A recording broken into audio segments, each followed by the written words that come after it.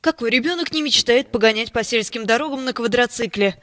Этот мальчик ничем не отличается от своих сверстников за исключением одного – у него нет правой кисти. За последние 10 лет в трех департаментах Франции зарегистрирована необычайно высокая доля детей, появившихся на свет без рук. Только в коммуне Друя на востоке страны на территории примерно в 20 километров конечности при рождении отсутствовали у 18 малышей. Специально созданная правительством комиссия начала расследование, результаты будут объявлены 31 января. Однако организация, которая первой забила тревогу, и сейчас не верит, что семьи наконец получат ответ.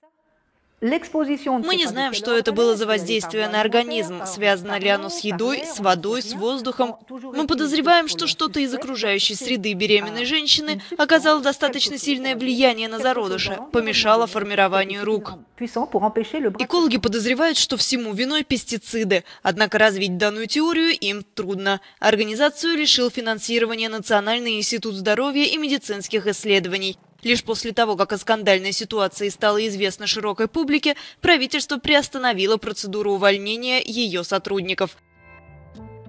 В Минздраве предлагают создать Национальную федерацию реестров врожденных пороков на основе организмов, собирающих информацию о патологиях в шести регионах страны. Этого недостаточно, уверены экологи. В их базах содержатся данные лишь о 19% новорожденных.